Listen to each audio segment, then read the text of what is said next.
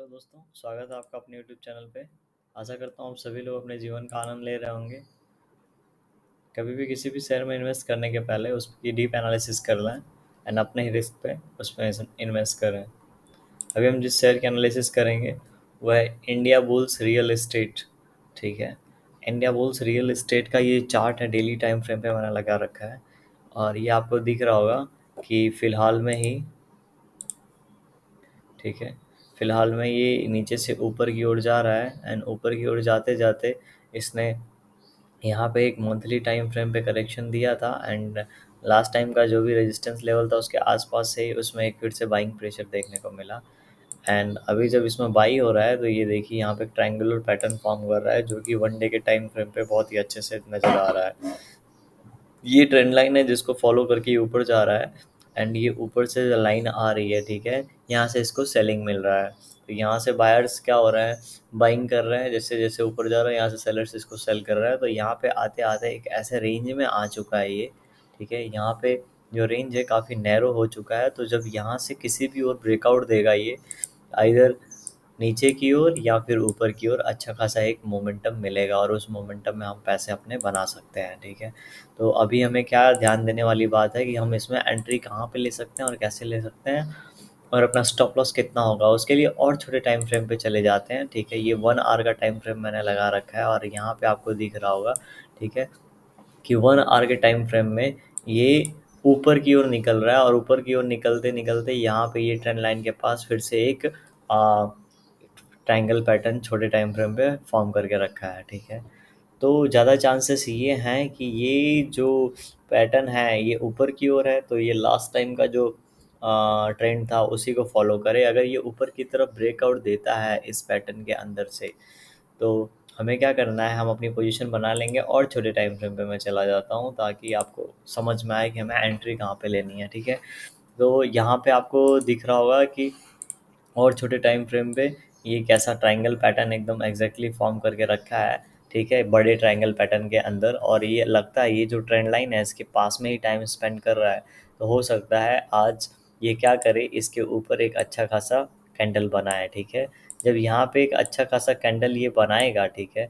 और first fifteen minute का candle यहाँ पे क्लोज दे देगा और वो स्ट्रॉन्ग कैंडल हमें दिखेगा तो हम क्या करेंगे? अपनी पोजीशन अभी इसमें बना लेंगे और अपना स्टॉप लॉस जो रखेंगे, वो ये जो ट्रेंड लाइन है, ठीक है? स्मॉल ये मैं जो बता रहा हूँ, ये छोटे टाइम फ्रेम के लिए शॉर्ट टर्म इन्वेस्टिंग के लिए है ठीक है? लॉन्ग टर्म के लिए स्टॉप लॉस अलग रहेगा।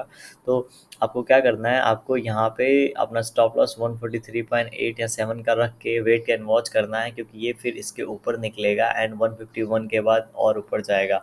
तो ये शॉर्ट टर्म के लिए है लगभग एक वीक के लिए आपको होल्ड करना है तो अगर ये इसके ऊपर निकलता है तो यहाँ पे स्टॉप लॉस लगा के होल्ड कर सकते हैं। लेकिन अगर आपको लॉन्ग टर्म व्यू चाहिए, अगर आपको एक महीने के लिए इसको इन्वेस्ट करना है तो उसके हिसाब से आपको इसको देखना पड़ेगा। और अगर यहाँ से ये ब्रेकआउट देता है ऊपर की ओर, ठीक है? अगर ये यहाँ से ऐसे ब्रेकआउट देता है, और ब्रेकआउट देने के बाद फिर से अगर इस ट्रेंड लाइन को रीटेस्ट करके ऊपर निकलता है तो हम क्या कर सकते हैं, अपनी पोजीशन बना सकते हैं, ठीक है? अगर आपको वेट नहीं करना है कि जब ये आ, ये उसका वेट नहीं करना है कि जब ये रीटेस्ट करे उसके पहले ही आपको पोजीशन अगर आपको बनाना है तो आपको क्या करना होगा? जब ये यहाँ से ब्रेकआउट देगा, इस लेवल पे अच्छा खासा कैंडल यहाँ पे फॉर्म करेगा तो आपको क्या करना है, यहाँ पे स्टॉप लॉस रखना होगा, उस कैंडल के विक के नीचे, ठीक है टेल के नीचे अपना स्टॉप लॉस रखिए और ये ट्रेंड लाइन के भी नीचे रखिएगा, इतना ध्यान दीजिएगा बस, और अपनी पोजीशन आप बना के वेट कर कर सकते हैं, क्योंकि आने वाले समय में फ़र्स्ट टारगेट 162 एंड उसके बाद का 174 का टारगेट ईजिली हमें देखने को इसमें मिल सकता है। तो ये दो सिनारियो थे, जो कि बुलिस सा बुलिस सिग्नल दे रहे हैं यहाँ पे और मैंने जो भी दो पोजीशन आपको बताया, वो बाइंग के साइड ही बताया है, ठीक है? उसके अपोजिट भी वॉइस वर्सा भी आप कर सकते हैं अगर प्राइस एक्शन बनता है तो ठीक है? हमेशा ध्यान दीजिए, जो भी आपका रिस्क है, उसको मैनेज करिए। रिस्क को मैनेज करने के लिए आप क्वांटिटी को मैनेज कर सकते हैं। क्वांटिटी को मैनेज करिए और प्राइस को मैनेज करिए, ठीक है? और जितनी भी आपके रिस्क एपेटाइट है, उसके हिसाब से ट्रेड करिए, उसके हिसाब से शेयर ढूंढिए। अगर बड़ा शेयर है तो उसमें कम क्वांटिटी लीजिए, छोटा शेयर है तो ज़्यादा क्वांटिटी लेके आप ट्रेड कर सकते हैं। तो आशा करता हूँ आपको ये एनालिसिस समझ में आई होगी और शॉर्ट टर्म और लॉन्ग टर्म के लिए आप इसको होल्ड कर सकते हैं। अगर ये ऊपर की ओर ब्रेकआउट देता है तो और यहाँ से एक अच्छा खासा मुनाफा बुक कर सकते हैं। अगर आपको एनालिसिस समझ में आ रही हो तो और वीडियो अच्छा लग रहा हो तो ज़रूर वीडियो को लाइक करें। एंड अगर आपने चैनल को अभी तक सब्सक्राइब नहीं किया है तो ज़रूर सब्सक्राइब करें ताकि आपको सही समय पर सही शेयर मिल सके, ताकि सही, आप सही समय पर इन्वेस्ट करें और एक छोटा सा स्टॉप लॉस आपको वहाँ पर रखना पड़े।